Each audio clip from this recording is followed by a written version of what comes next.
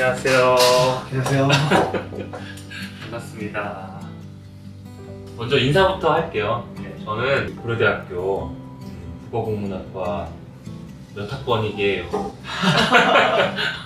공사학번을 오늘 술을 많이 사야 될 것 같아요. 네, 저는 98학번이고요. 엄태용이라고 합니다. 반갑습니다. 맞습니다.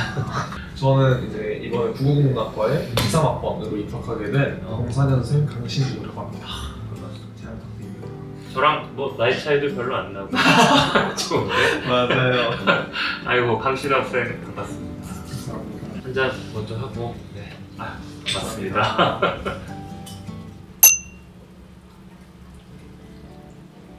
2, 3학번이면 네. 이제 1년 정도 대학 생활을 한 거고 아마 현역이니까 대학 생활도 정말 처음일 것 같은데 즐거웠어요? 그러니까 힘들 때도 있긴 했는데 돌아보면 다 정말 좋은 추억들인 것 같아요. 고대생이어서 또 즐길 수 있는 게 참 많았죠. 제가 고대여서 진짜 제일 좋았던 점이 선후배 사이에도 끈끈하고 동기들 사이에서도 이제 서로를 챙기려는 모습이 고대라서 더 남달랐던 게 아닐까 하는 생각이 종종 들 정도로 이제 서로를 위하고 모이려는 그런 모, 이제 모습이 정말 좋았다고 생각했습니다. 제가 그걸 정말 공감하는 게 저는 입학 전부터 학교를 엄청 많이 왔어요. 처음에 합격 통지서를 받자마자 선배들한테 연락이 왔어요. 어, 그게 12월 말이었는데 입학을 축하한다고 하면서 우리 행사 있으니까 오라고 이게 이제 예비 학교라고 해서 전형 합격자 생길 때마다 불러가지고 같이 밥 사주고 술 사주고 그랬던 기억이 있거든요.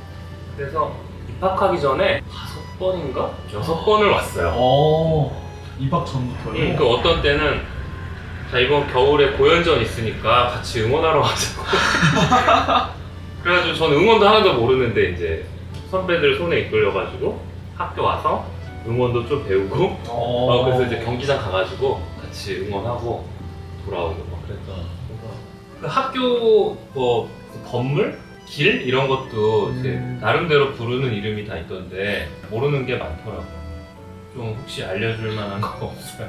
저희가 이제 그나 제일 자주 쓰는 거는 예를 들어서 정후? 아 정호는 알죠 정후 저도 그 정도는 정호랑 어. 이제 저희 수업이 주로 이루어지는 곳이니까 아마 에미관? 어... 애미관? 에미관 어디 입었어요? 어 괜히 괜히 어, 자신 있는 척 했네. 모르겠어요. 에미관이 SK 미래관. 아! 그래서 아! 네 그래서 음. 미래관을 에미관이라고 많이 하고. 다른 건 그냥 뭐 서관은 서관이라고 할 맞아요. 것 같고. 줄이지 않는 것들도 있는데 음 중지? 중앙광장 지하. 맞아요 맞아요. 음, 그 요즘 학생들은 뭐 연애 이런 것도 또 아무래도 관심 많을 텐데 맞아요 20대 초반이다 보니까 전부 이제 연애 세포가 다 물이 올라서 진짜 많이 사귀더라고요 마치 남의 일인 것처럼 아유, 얘기하시는데 전 혹시 아닙니다. 아니에요? 음, 연애 해야 되는데 술 마셔야겠다 빨리 연애 해야 될 텐데 아 숨기고 있는 거 아니에요? 어? 교수님은요? 아 대학 다닐 때? 네 음, 일단 한 잔 먹고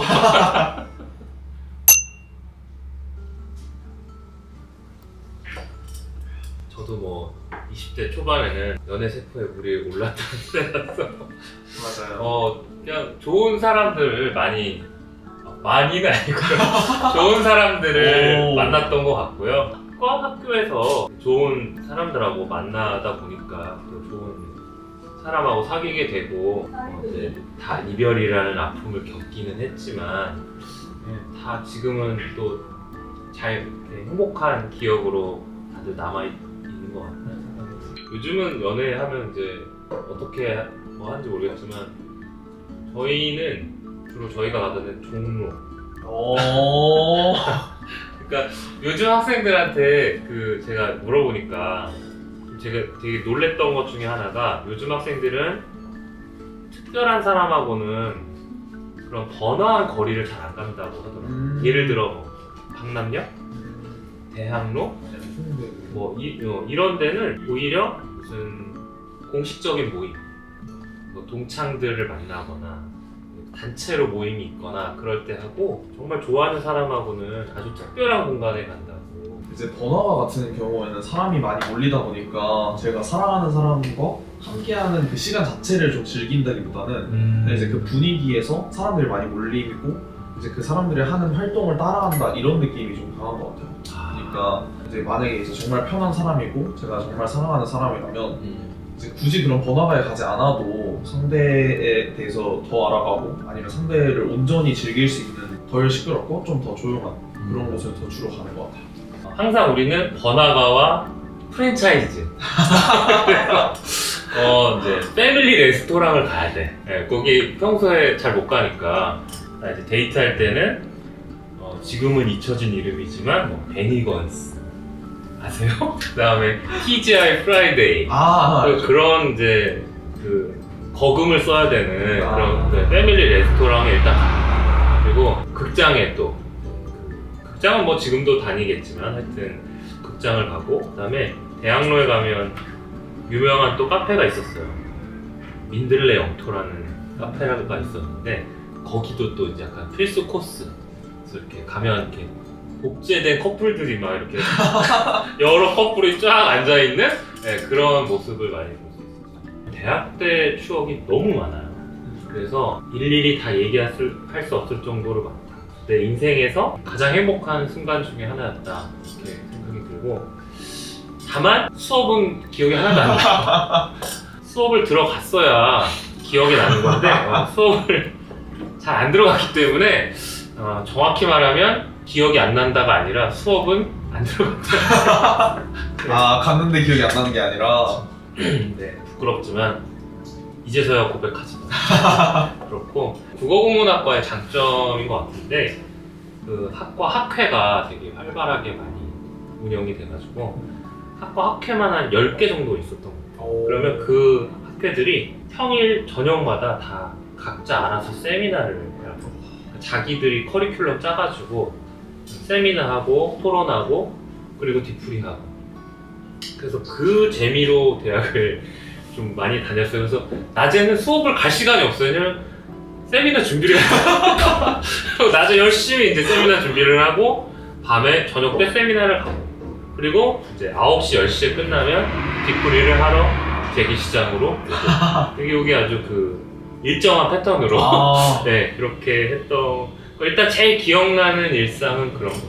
그 처음에 국어국문학과 진학한다고 했을 때 뭐 선생님이나 부모님이 그다지 환영하지 않았을 수도 있을 것 같은데 어때요? 와 보니까 좀 본인 꿈을 펼칠 수 있을 것 같다는 생각이 들어요. 뭐 그렇지 않아요? 저는 국어를 가르치고 싶다는 생각으로 들어갔어요. 이제 교수나 아니면 강사나 이제 제가 알고 있는 지식을 다른 사람한테 가르치는 걸 좋아하는데 그 이 얘기를 하면 주변 사람들이 그러면 그 국어 교육과 안 가고 국어문학과를 왔냐라고 하시더라고요. 근데 저는 우선은 국어에 대해서 제가 좀 더 깊은 심층적인 탐구를 하고 지식을 쌓은 다음에 가르치는 거는 이제 직접적으로 애들 친, 그 학생들을 가르치면서 저만의 타- 이제 가르치는 방식을 찾고 싶었거든요. 그래서 국어문학과 여기에 됐는데 입학을 하고 나니까 다양한 친구들이 있고 다양한 꿈을 가진 애들이 있는 거예요. 카피라이터를 한다든가 아니면 정, 정말 시인이 된다든가 이렇게 좀 다양한 직업이 있다 보니까 꼭 내가 처음에 생각했던 강사라는 꿈을 유지해야 할까 다른 꿈은 무엇이 있을까 하고 조금은 방황기를 겪었던 것도 없지 않습니다. 어, 국어국문학과의 장점이라고 하면은 남들은 단점이라고 하는 건데 이제 진로의 스펙트럼이 되게 넓다는 거고 친구들과 같이 선후배들하고 경험하면서 나한테 맞는 진로를 이렇게 미세 조정할 수 있다고 해야 될까? 그런 단점이 있는 것 같아요. 저 같은 경우에 처음에 대학교 들어올 때 제 꿈은 다큐멘터리 PD였어요. 오. 네, 그러니까 그러면 왜 다큐멘터리 PD인데 국어국문학과에 왔냐 이제 비슷하게 물어볼 텐데 저는 그럼 다큐멘터리와 PD 중에 어디에 더 방점이 찍혀 있냐 그러면 저는 다큐멘터리였어요. 어, 네, PD가 PD구나. 네, PD는 제가 이제 재주가 없고 영상 미학 이런 걸 추구하기는 제가 좀 실력이 부족하고 그 공중파 방송사들 중심으로 준비를 해볼까 하다가 저는 이런 문제를 화면으로 풀기보다는 글로 푸는 게 좋겠구나 라고 생각을 하게 돼서 이제 대학원을 가게 됐는데 그런 결정을 하게 된 과정에서 역시나 선배들하고 친구들의 그 영향이 정말 컸어요. 왜냐하면 어, 방송국에 있는 선배들도 많았고 또 어, 대학원에서 연구자로 살아가는 선배들도 많으니까 이 삶이 어떤 특징을 가지고 있고 뭘 잘해야 이쪽에 가서 성공할 수 있는지 이런 걸 들을 수 있었거든요. 어, 결론적으로 저는 화면보다는 어, 글이 낫겠다 이런 생각을 해- 하면서 이제 대학원 진로를 택했죠.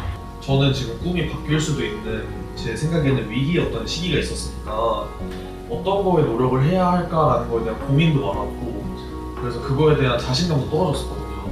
근데 교수님 말씀이니까 이제 제가 지금 당장 생각하는 거 이제 생각하고 있었던 거랑 아예 다른 길을 추구하게 될 수도 있 다는 생각이 들면서 좀 이게 고민이 꼭 나한테 지금 당장에 나한테 부정적인 영향만은 아닐 수도 있겠다.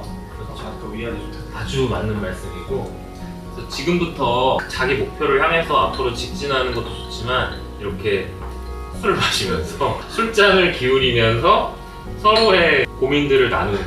그게 잠깐 멈춰 있는 것 같지만 사실은 더 나은 거죠. 2보 전진을 위한 1보 후퇴랄까 막 그런 측면에서 되게 의미 있는 것 같습니다. 오늘 너무 즐거웠네요. 술을 조금 이제 끝나고 더 마셔야 될 것 같은데. 너무 좋아요. 잘 지내시고 뭐 혹시 이렇게 오늘 얘기 못다한 거 중에서 뭐 진로라든가 인생 상담이라든가 뭐 이런 게 필요하면은 언제든지 연락 바랍니다. 소중한 시간 내주셔서 감사합니다, 교수님. 네, 그럼 또 뵐게요. 네, 감사합니다.